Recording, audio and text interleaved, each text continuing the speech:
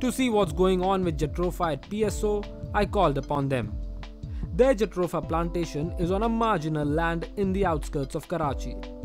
This is an experimental Jatropha cultivation nursery which has been set up on a 20 acre land with around 20,000 plants growing in it. Each plant can prove to be economically viable if it gives 4 kilograms of Jatropha seeds in one year. Now these 4 kilograms of Jatropha seeds can give 30% oil. It means 1.2 liters of oil. This oil is then converted to biodiesel in a special extraction plant.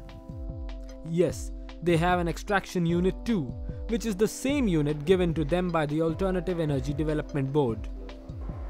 This is the oil extraction plant where the Jatropha seeds are brought in and converted into biodiesel.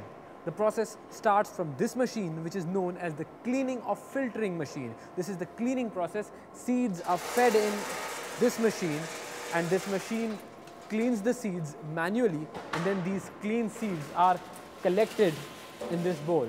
As you can see, this is a manual cleaning process.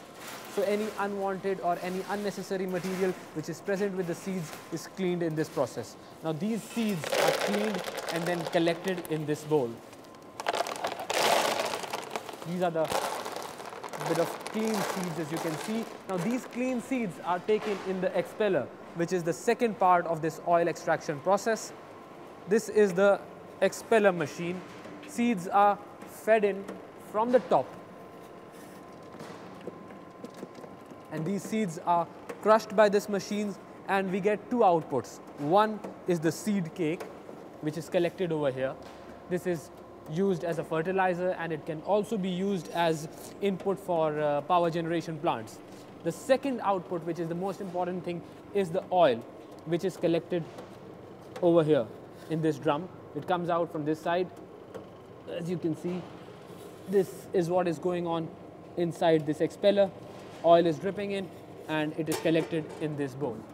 Now the third process it is the oil filtration process the oil which comes uh, from the expeller machine is collected in this drum and then it is transferred with this motor to this oil filter plant.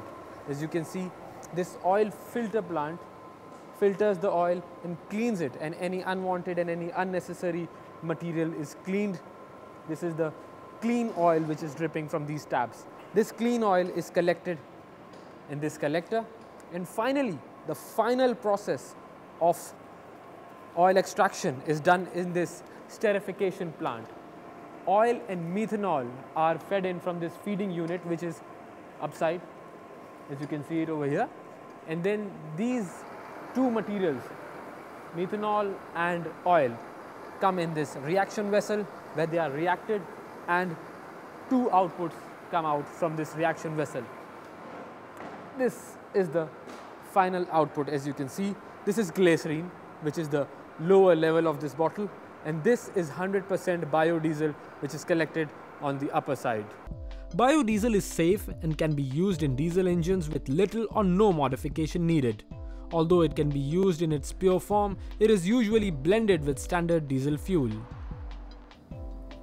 What I am pouring in this fuel tank of this vehicle is B10 biodiesel. B10 means this is 10% biodiesel and 90% petrodiesel which is available on the pumps for you.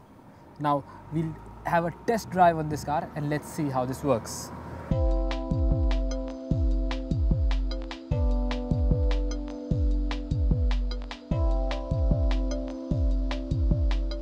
I think we are, the platform is ready, very frankly. It is just, there's some push required. The availability of land in uh, Balochistan, southern Balochistan and southern Sindh is immense push is that, you know, either you get the investors in, the policy is there now, or government should set up initially a pilot project. But you can't do it if you do, if you run the same pace, if you go through the, through the beaten path. You have to look at the path which has never been travelled before. The government could not provide this push in wind and solar. How is it possible to have it here in the biodiesel sector? Now we are looking at the implementation plan as to how much land will be required, where are we going to get the land from, who is going to plant, uh, what will it cost to plant it, and who is going to buy it, uh, what kind of infrastructure is required, what kind of equipment is required. So have you reached any Uh, that answers is in this? Uh, no, we are well. We have uh, we have a plan uh, that we are discussing. We have to formalize it. We have to finalize it.